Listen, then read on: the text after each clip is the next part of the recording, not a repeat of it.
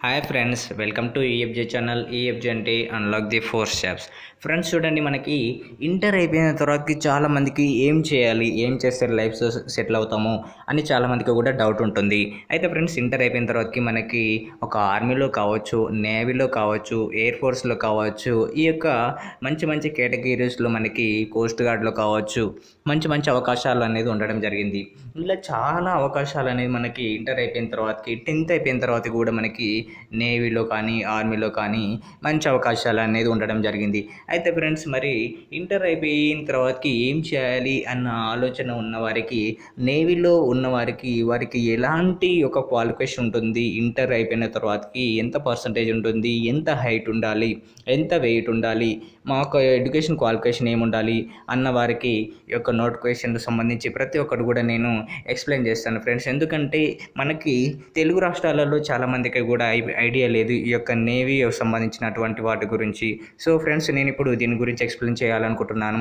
ముందుగా ఫ్రెండ్స్ మనకి ఇక టెన్త్ అయిపోయిన వారు ఇంటర్ అయిపోయిన వారు ఎవరైతే ఉన్నారో ఈ వీడియోని స్కిప్ చేయకుండా చూడండి. ఎందుకంటే మనకి క్వాలిఫికేషన్ పర్టికులర్గా తెలుస్తుంది. అట్ ద సేమ్ టైం మనకి ఎన్ని అవకాశాలు ఉన్నాయో కూడా తెలుస్తుంది. ఓకేనా ఫ్రెండ్స్?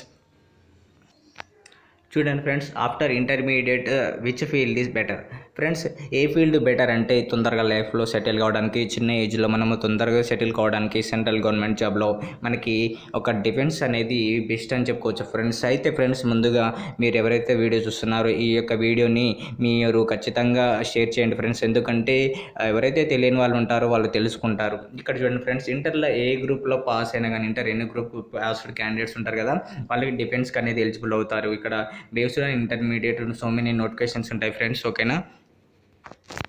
ఫ్రెండ్స్ చూడండి ఎలాంటి నోటిఫికేషన్స్ ఉంటాయంటే మనకి నేవీకి సంబంధించినటువంటి ఇక్కడ నేవల్ ఇంజనీరింగ్ అని ఉంది చూసారా? నేవల్ ఇంజనీరింగ్ ఓన్లీ ఎస్ఎస్బి ఇది ఈ యొక్క ట్రేడ్ వైజ్గా మనం వెళ్ళాల్సి ఉంటుంది.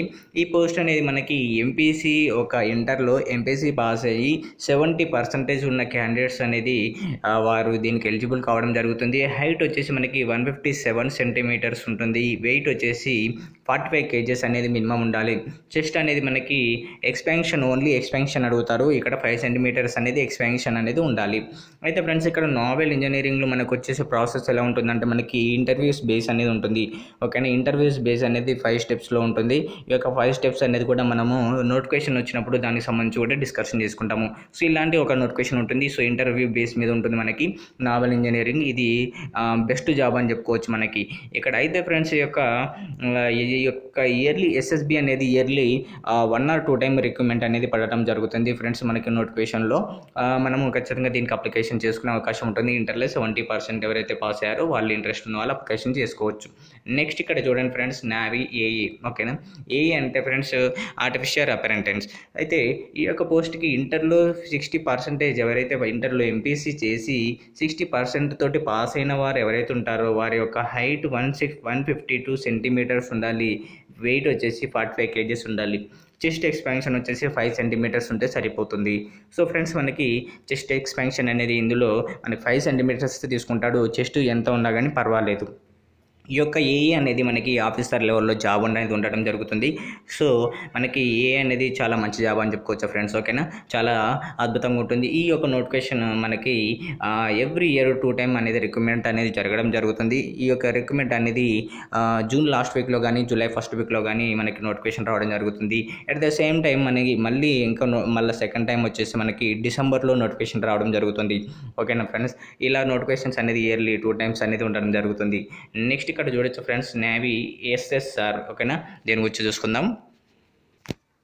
చూడండి ఫ్రెండ్స్ ఇక్కడ నేవీ ఎస్ఎస్ఆర్ ఎస్ఎస్ఆర్ అంటే సీనియర్ సెకండరీ రిక్రూట్మెంట్. అయితే ఫ్రెండ్స్ ఈ యొక్క పోస్ట్కి ఎవరు ఎలిజిబుల్ అవుతారంటే ఇంటర్లో ఓకేనా ఇంటర్లో ఎంపీసీ చేసి ఫిఫ్టీ పర్సెంటేజ్ పాస్ అయినటువంటి వారికి హైట్ వచ్చేసి one fifty two centimetres weight వచ్చేసి forty five kgs. Chest expansion వచ్చేసి ఫైవ్ సెంటీమీటర్స్. సో ఇది కూడా నోట్ క్వశ్చన్ మనకి ఎప్పుడంటే జూన్ లాస్ట్ వీక్లో కానీ జూలై ఫస్ట్ వీక్లో వస్తుంది. ఎట్ ద సేమ్ టైం ఇంకా సెకండ్ రిక్రూట్మెంట్ వచ్చేసి మనకి డిసెంబర్లో జరగడం జరుగుతుంది అనమాట సో ఈ రెండు సార్లు కూడా మనకి నోట్ క్వశ్చన్ అనేది రావడం జరుగుతుంది. సో చాలా ఈజీగా ఉంటుంది ఎగ్జామ్ అనేది మనకి. ఫోర్ సెక్షన్స్ ఉంటే ఈ యొక్క ఏఏ కానీ ఎస్ఎస్ఆర్ కానీ మనకి ఫోర్ సెక్షన్స్ ఉంటాయి. ఎవ్రీ సెక్షన్ కూడా మనకి ట్వంటీ ఫైవ్ మార్క్స్ అనేది ఉండడం జరుగుతుంది. సో ఈ సెక్షన్ సంబంధించి ఏ ఏ సిలబస్ ఉంటుంది అని దాని గురించి నేను పర్టికులర్గా వీడియో చేస్తాను. ఎందుకంటే మీకు క్లారిటీ ఇవ్వడం కోసం. ఇప్పుడు ఏమేమి నోటిఫికేషన్స్ ఉంటాయో చూసుకుందాం ఫ్రెండ్స్ ఓకేనా ఇంటర్లో ఎంపీసీ చేశారు కాబట్టి జనరల్గా మనకి ఏఎస్ఎస్ఆర్కి మనకి ఎంపీసీ గ్రూప్ అనేది అడగడం జరిగింది కాబట్టి మ్యాథ్స్ ఫిజిక్స్ ఇంగ్లీషు అదేవిధంగా జనరల్ అవేర్నెస్ ఇవి అడగడం జరుగుతుంది. ఓకేనా అర్థమెటిక్ రీజనింగ్ జనరల్ అవేర్నెస్ ఇవి అనేది అడగడం జరుగుతుంది ఫ్రెండ్స్ మనకి నేవీ అండ్ ఎస్ఎస్ఆర్లో ఇక్కడ చూసుకుంటే మరి నావీ ఎంఆర్ ఓకేనా ఇది ఒకసారి చూద్దాం ఫ్రెండ్స్ మనం.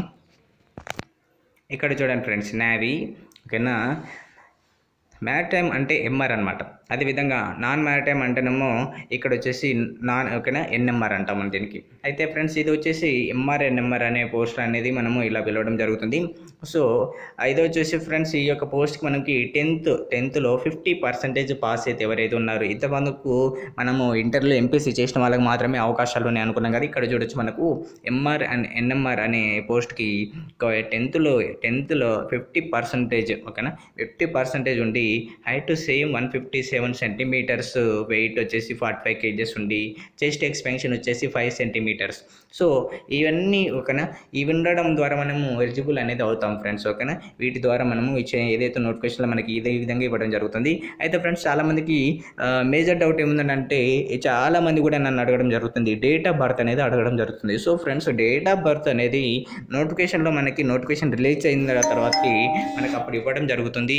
ఎందుకంటే ఫ్రెండ్స్ మనకి డేట్ ఆఫ్ బర్త్ మేజర్గా ఏంటంటే మనము ఒక టూ డేస్ కావచ్చు వన్ మంత్ కావచ్చు ఆ డిఫరెన్స్ అనేది ఉంటుందన్నమాట. సో చాలామంది కూడా నన్ను డేట్ ఆఫ్ బర్త్ రిలేషన్స్ సంబంధించి అడుగుతున్నారు.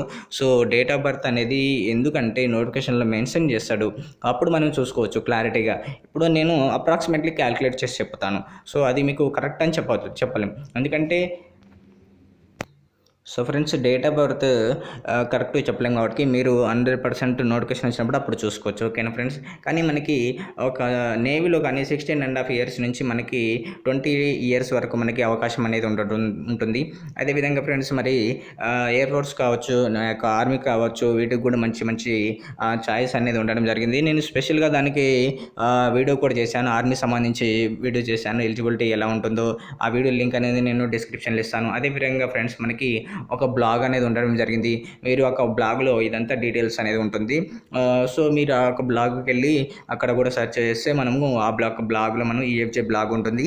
ఆ ఒక బ్లాగ్లో మీరు చూసుకోవచ్చు. ఆ ఒక బ్లాగ్ లింక్ అనేది నేను కింద డిస్క్రిప్షన్లో ఇస్తాను. మీరు దాన్ని ఫాలో అవ్వచ్చు ఫ్రెండ్స్ అయితే ఫ్రెండ్స్ ఇంటర్లో చేసినటువంటి వారికి ఇలాంటి నేవీలో ఎయిర్ ఫోర్స్లో అదేవిధంగా టెన్త్లో టెన్త్ అయిపోయిన తర్వాతకి మంచి మంచి అవకాశాలు ఉన్నాయి. సో వారికి అందరికీ షేర్ అయ్యే విధంగా ఓకే వాళ్ళందరికీ మ్యాటర్ రీచ్ అయ్యే విధంగా మీరు ఖచ్చితంగా షేర్ చేయాలని కోరుకుంటున్నాను. friends thank you friends thank you for watching